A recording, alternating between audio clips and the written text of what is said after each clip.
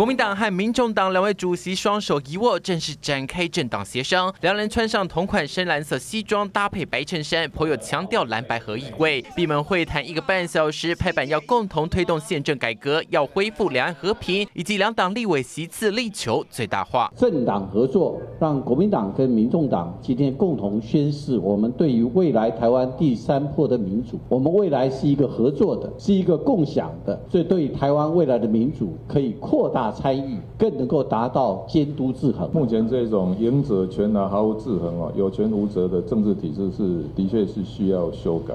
那么台湾如何走出过去那一种两极对抗的社会氛围啊，在二零二四是一个契机的合作哦，还是比对抗好。但各界最关心的是侯科两人如何搭档。柯文哲选项中，侯友谊到底排在第几？如果要合作，那当然不管柯侯侯科是不是在同一张选票上面，我们也是尊重国民党的意见。你有个公平的哦，双方可以接受的办法，那就可以了。我们要尊重当事人的意愿，今天也不能说哦，在在当事人缺席的状态下，我们自己搞定了。我想这个也不恰当。之前讨论的那些方案都已经不存在了，政党的协商也会包含侯友谊市长在内。前一段时间啊，拖了一段时间，有很多的民众会不耐，甚至愤怒啊。我们最多表示抱歉，再给我们一点时间，我们持续的把可以完成的部分先。先完成，然后堆叠善意，这些还有需要讨论的，我们坐下来再好好讨论。蓝白河终于看见曙光，就差总统大卫要如何协调主持人，而侯克两人智慧就是关键。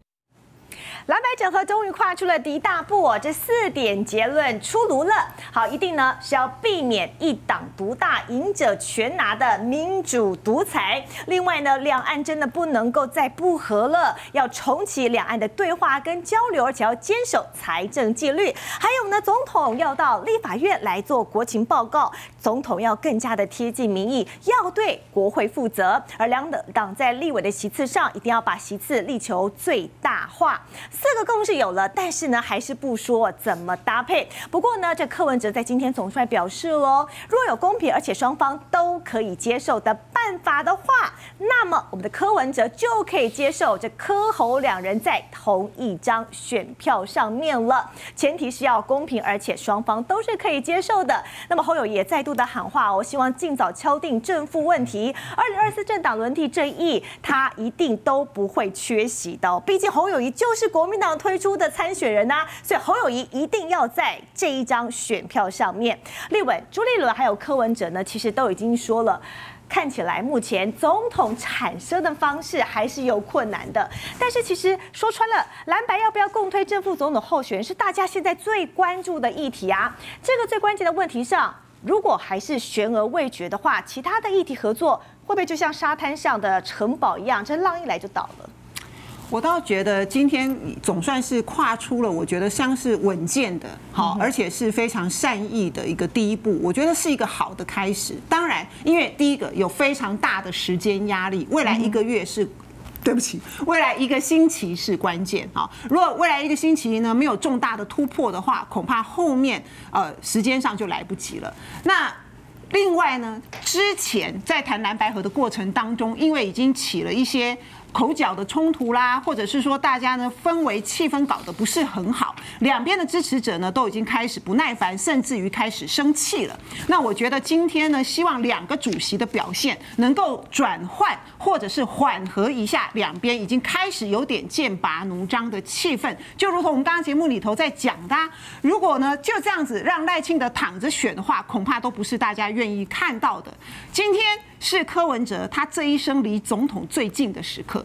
另外，如果明年总统输掉了，国会还是民进党继续多数的话，我相信国民党的诸侯也是万劫不复，没有办法对得起人民。所以两边还是承载的很大的压力跟诱因，在这个时刻要拿出最稳健跟最好的表现，不要把这个锅给砸了。那我觉得毕竟是第一次正式的党对党，而且是主席的一个协商，这也是我觉得严格说起来是历史上第一次，如同。朱伟朱主席今天也有讲，过去的国青啊，或者是跟新党，因为系书同源嘛，都是国民党出来的，其实不太一样。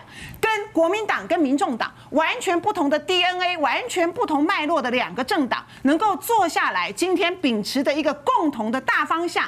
第三波的民主改革、财政的纪律、两岸的和平，我觉得这一些大方向都是正确的国家方向。两党能够开始去摸索，透过善意来进行两党合作的第一步，历史的第一步。因为毕竟台湾过去不是内阁制，内阁制的精神，我们在欧洲像法国、德国这些老牌民主国家，他们政党的合作跟协商都已经超过百年。台湾毕竟是第一次，我觉得这个绝。对，是一个很重要的历史时刻，也希望铺陈出来的善意的氛围，能够架构未来真正蓝白合作的重要基础。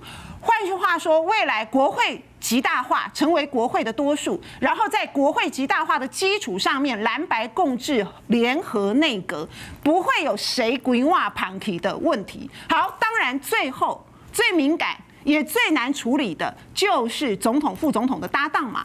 那这个部分，我认为其实就在他们当事人的一念之间而已。如果现在其实选票上面可能就是柯侯两位的话，那其实就在他们的一念之间。说难很难，说简单也非常的简单。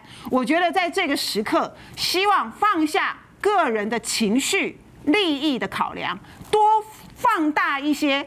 国家、民族、人民公益的考量，在这个关键的时刻，他们做出来的决定会改变历史。所以，我觉得只能就是说，在这个时候，不要造成两边在营在野阵营内部两边的更多的恨意、跟愤怒、跟情绪。不管未来和或不和，都希望不要让赖清德偷笑。所以，就算不和，我觉得也应该维持一个彼此的尊重、跟礼貌、跟善意。那未来还有很多合作的空间、合纵连横的空间。大家不要忘记，共同的敌人是反贪腐、要台独、导致战争、反民主的民进党政权。原来好的益生菌真的可以帮助入睡。太阳星全效克菲尔益生菌是国家认证 AB 克菲尔益生菌，含七种有身份证的专利活菌，能产生伽巴、色氨酸等助眠因子，难怪吃了更快入睡，也睡得更好。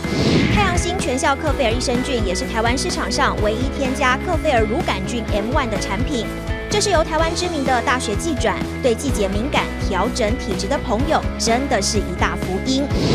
还有这支还添加被称为超级食物的羽衣甘蓝萃取物，不少研究都指出十字花科蔬菜有助抗炎及防癌，像是羽衣甘蓝含有高量的叶黄素、贝塔胡萝卜素、维生素 K、维生素 C、叶酸等丰富营养素。